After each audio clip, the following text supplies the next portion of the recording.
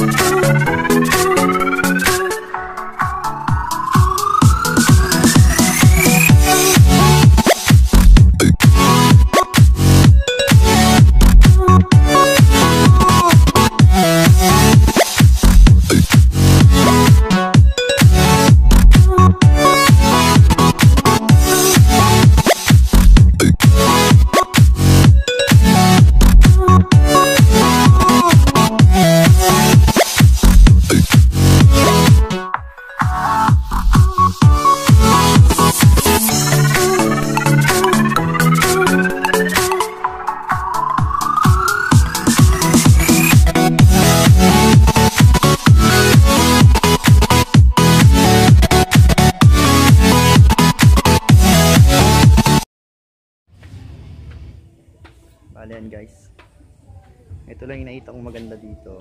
Ah, meron pa marami pa. Kaso nga lang, ito yung napupusuan ko kasi ito yung kasize ko. Bali ito, Nike na to is...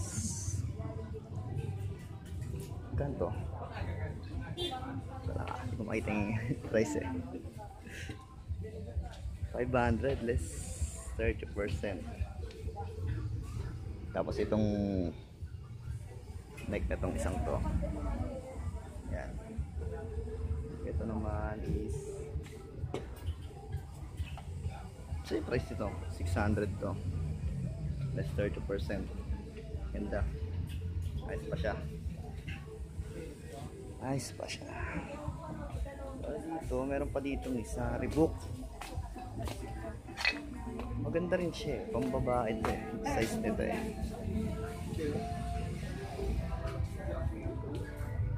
Layo tayo doon. May tugtog doon eh. Baka makapiright tayo. ito, saya ka lang.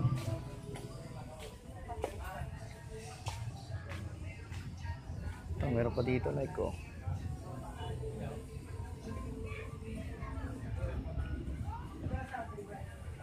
Bali itong may mga din sila oh.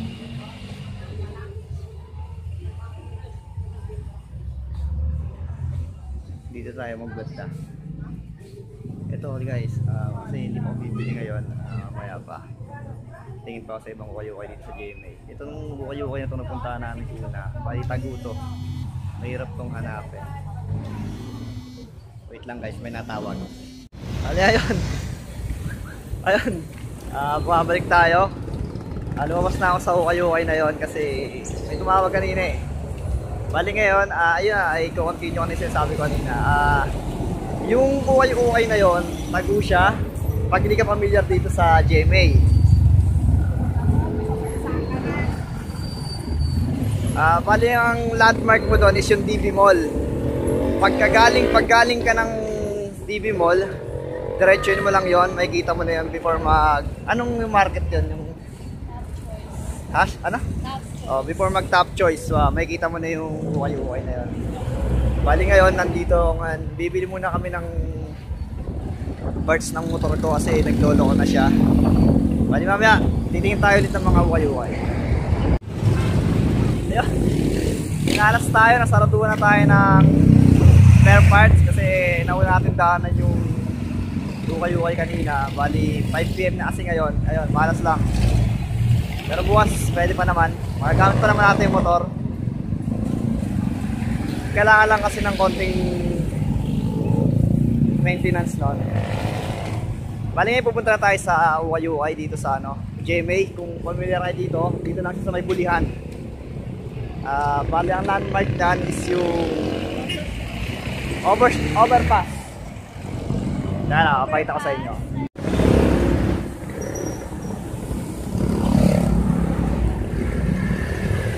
Ayun, yung overpass na yon. Sa baba niya, may mga yuwa-yuway na, tsaka yung bulyan, pagpasok niyan dito. At yan dito, papunta ng Carmona yan, pag galing ka ng Dasma. Pati dito, Dasma ko dito eh. Sige, mamaya na lang ulit.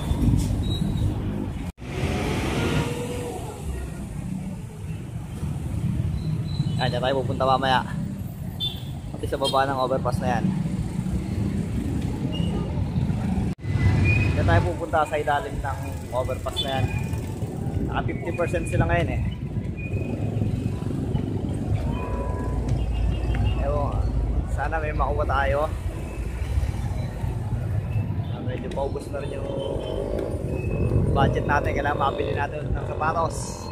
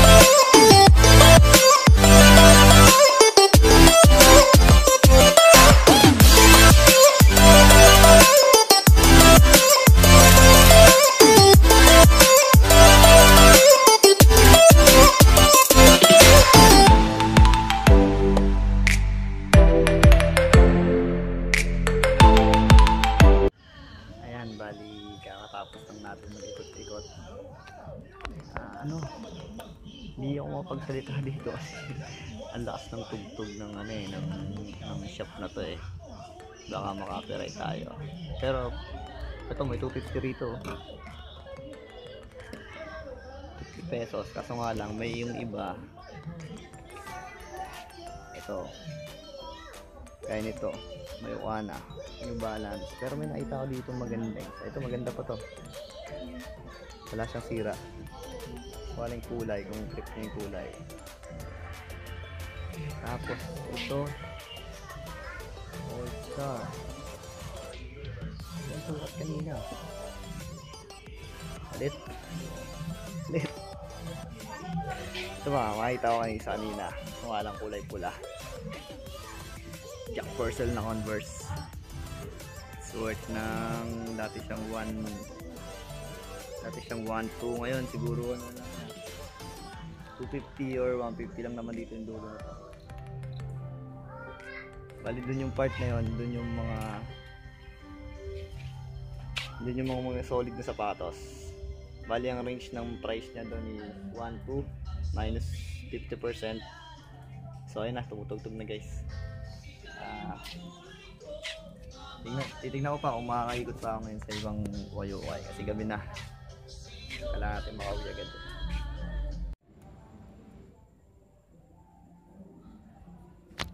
Yun. Yan, kakauwi lang natin guys. Ah, bali yun, wala akong nabiling sapatos ngayon kasi ano ba to? Ah, bibili akong pyesa ng motor ko ngayon. Eh, medyo mahal kaya hindi na, hindi na tayo nakabili ng sapatos. Pero yun, yung, yung nung napunta nating yung ukay-ukay. Ah, dalawa lang naman yung napuntahan ko ngayon pero marami pa dito sa GMA Cavite. Ah, yung unang napuntahan natin is yung sa may ano sa may DB Mall, 20 to 30% lang sila doon. Tapos yung pangalawa is yung sa sa sa may bulihan doon yung landmark niya is yung, along the highway lang naman siya. Ah, papuntang Carmona tsaka papuntang pag galing kang Dasma along the highway lang naman siya. Basta yung landmark mo doon is yung yung ano, yung yung overpass. Sa baba nun, yun. Yun yung ukay-ukay doon. Ayun, hindi yun nga hindi na ako na masyadong nakapagsalita doon kanina sa ukay-ukay natin doon kasi baka makapiright tayo, may mga tugtog sila doon. Mahirap na. Yun lang, sunod lang tayo sa policy. Tapos, guys, ah, yun lang. Tapos, ayun, ah, subscribe ka na sa channel ko for more videos to come. Tapos, like mo na rin. Then, hit mo na rin yung bell button. yun lang. Maraming salamat sa inyo. God bless you.